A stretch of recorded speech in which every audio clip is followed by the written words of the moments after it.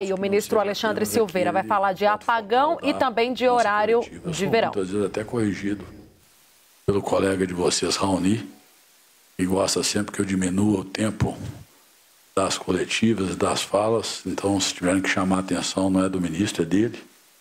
Mas eu prefiro assim, para a gente poder esclarecer as coisas e colocar o ponto de vista da gente. E também aproveitar essa oportunidade sempre para poder aprender, tanto com os nossos colegas de trabalho, como uma imprensa especializada que acompanha conjunturalmente a questão das energias no Brasil e no mundo, e sempre são contributivos também nas críticas para que a gente faça, em alguns momentos, humildemente e naturalmente, até para seguir em frente com a dimensão da responsabilidade que tem esses setores para o Brasil, correção de rotas. Muito bem, criou-se uma ampla discussão a partir de um ofício da ONS sobre a possibilidade da volta da política do horário de verão. Primeiro é importante destacar que o horário de verão não é uma política do Brasil. É uma política de vários estados no mundo. É uma política que, em alguns países, ela tem apenas o condão energético, e em outros ela tem quase que exclusivamente um condão econômico. Países, por exemplo, que têm matrizes de energia nuclear, como a França, adota o horário de verão por uma questão muito mais econômica, de impulsionar a economia em certos períodos do ano, do que pela segurança energética. Isso foi implementado no Brasil na década de 2000, é uma política que eu destaco mais uma vez, nós vemos ela como uma política importante para assegurar, a, em especial, os momentos que a gente chama de sobrecarga na ponta, são os momentos onde, agora em especial, nesse momento de transição energética e de crescimento das energias intermitentes, a gente perde carga de energia solar no final do dia e aumenta a ampliação do uso das energias e, consequentemente, aumenta o despacho de energias, de energia térmica. Repetindo, só para ser bastante didático, o Brasil é um país que ainda tem, na sua grande, na sua grande maioria de força de energia firme, o modal de energia hídrica em especial por causa das nossas, além das nossas PCHs, mas em especial por causa das grandes usinas que foram construídas nos dois mandatos do presidente Lula, Belo Monte, Geral, Santo Antônio, e que reforçaram muito nossa segurança energética nacional. E quando é assim, é, matrizes como essas dependem também de questões climáticas. E o Brasil viveu esse ano, está vivendo ainda, mas agora já dá demonstrações. Estamos passando pelo momento mais crítico, com chuvas já no Sudeste, chuvas na cabeceira de alguns rios importantes no Brasil, mas o Brasil, conforme índice do CEMADEM, índice oficial do Ministério de Ciência e Tecnologia, viveu desde 1950, quando o CEMADEM fez o seu primeiro medição de índice pluviométrico, a maior seca da nossa história. E, graças a algumas medidas feitas durante o ano, eu vou citar algumas delas, nós, medidas de planejamento, nós conseguimos é, chegar com os nossos reservatórios ainda com índices de resiliência que nos dão a tranquilidade, e aqui repito, mesmo com o surgimento da possibilidade da decretação do horário de verão, eu sempre destaquei, para que não haja nenhuma dúvida, que nós não teríamos risco energético para esse período, mas que o horário de verão não estaria descartado caso mudasse alguma coisa negativamente ou, ou tivesse uma relevância substancial na questão da modicidade tarifária, menor tarifa para o consumidor. E tivesse menos impacto na sua transversalidade nos, em outros é, em outras vertentes da economia nacional. E eu, todos são testemunha, tive o maior zelo e cuidado em fazer esse debate, é, tanto com os maiores especialistas do Brasil do setor elétrico, quanto os nossos auxiliares das vinculadas, quanto o Comitê de Monitoramento do Setor Elétrico, que se reuniu inusitadamente durante dez vezes nos últimos 45 dias, para poder discutir a efetividade e também a imprescindibilidade da decretação do horário de verão. E nós, hoje, na última reunião com a ANS, na verdade, ontem à noite em videoconferência e hoje numa reunião presencial, chegamos à conclusão que não há necessidade de decretação do horário de verão para esse período, para esse verão. É, nós temos a segurança energética assegurada, é, há o início de um processo de restabelecimento ainda muito modesto, mas de restabelecimento da nossa condição hídrica. Nós temos condição de chegar depois do verão em condição de avaliar, sim, a volta dessa política para 2025. E quando eu faço esse parêntese, eu faço para destacar a minha defesa da política do horário de verão para o país. É importante que ele seja sempre considerado. Ele não pode ser fruto de uma avaliação apenas dogmática ou de cunho político. Ela é uma política que tem reflexos tanto positivos quanto negativos no setor elétrico e na economia.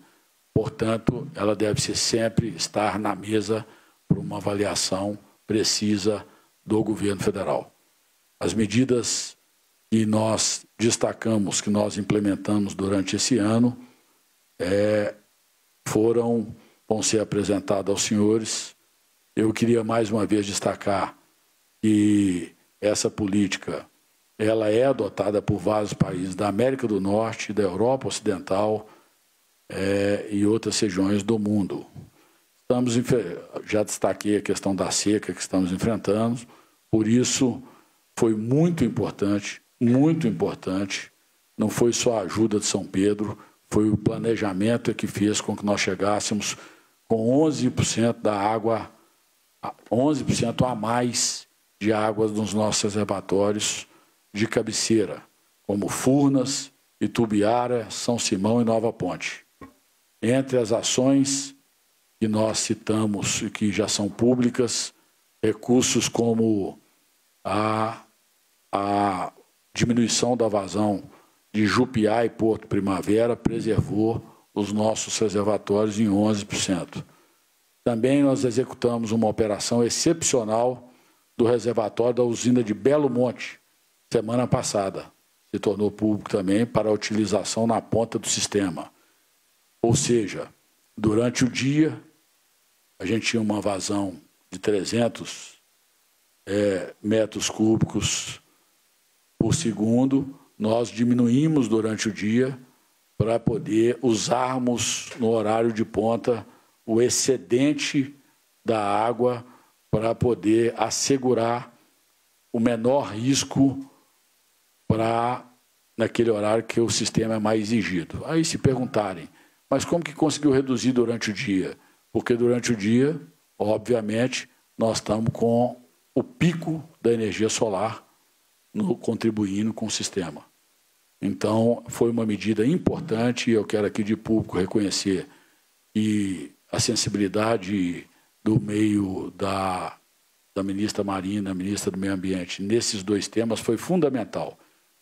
É, é um, o, em 2021, eu me lembro muito bem, eu estava no Senado da República, um dos motivos da gente ter feito aquelas contratações, a gente, que eu digo o governo, o país, aquelas contratações emergenciais de térmicas no PCS, foi exatamente o ministro que dizia que defendia o abrir, o, abrir porteira, o é, porteira, passar a boiada, ele não conseguiu administrativamente um acordo com o meio ambiente para poder aumentar e regular melhor a vazão de Belo Monte.